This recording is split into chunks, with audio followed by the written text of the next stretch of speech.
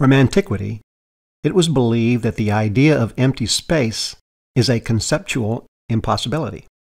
Space is nothing but an abstraction we use to compare different arrangements of the objects.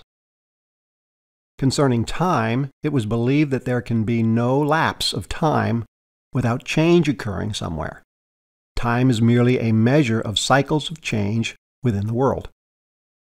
Then, in 1686, Isaac Newton founded classical mechanics on the view that space is real and distinct from objects, and that time is real and passes uniformly without regard to whether anything moves in the world. He spoke of absolute space and absolute time as a stage within which matter existed and moved as time flowed at a constant rate.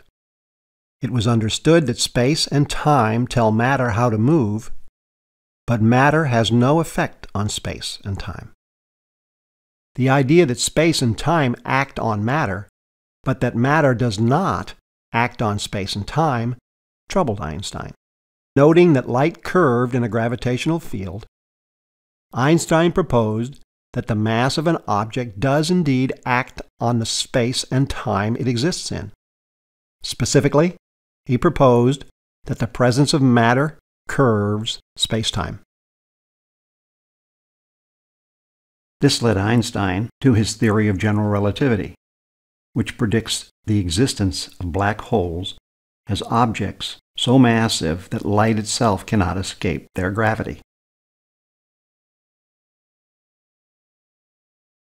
You'll recall explosions at the end of life for stars less than five times the mass of the Sun leave behind a white dwarf. In these stars, electron exclusion pressure is enough to counteract the inward force of gravity. Supernova explosions at the end of life of stars more than five times the mass of the Sun leave behind a neutron star. In these stars, electron exclusion pressure is insufficient to overcome the force of gravity, but neutron exclusion pressure is. But if a star is greater than 30 times the mass of the Sun, even neutron exclusion pressure won't do the trick. In fact, there is no known force that will counteract the inward force of gravity for such a supernova or hypernova exploding star. According to Albert Einstein's general theory of relativity, the star will collapse into zero volume and infinite density. This is called a singularity. This defines a black hole. It gets its name from the fact that such a singularity would create a gravitational pull that not even light could escape. The object literally becomes invisible.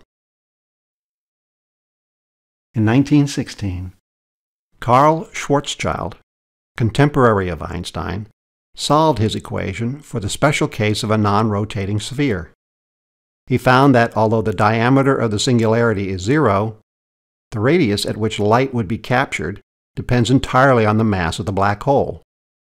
This is called the Schwarzschild radius, and it defines the event horizon. But it would be the rare black hole that doesn't spin. In 1963, Roy Kerr, developed a general solution for spinning black holes. It showed that there is a second region beyond the event horizon that defines a volume around the black hole called the ergosphere. In this region, space itself is dragged around by the black hole's spin. It's called frame dragging. Also in this region, light can enter stable orbits around the black hole. This would produce a photon spherical shell encasing the black hole with the light from all the stars in the universe accumulated over the entire age of the black hole. It would be a sight to see.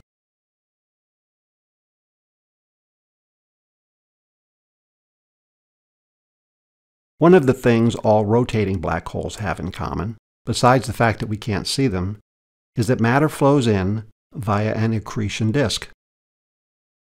The exact mechanism is not yet fully understood, but we know that gamma ray jets shoot out at the poles carrying a percentage of the falling matter with it, at speeds approaching the speed of light.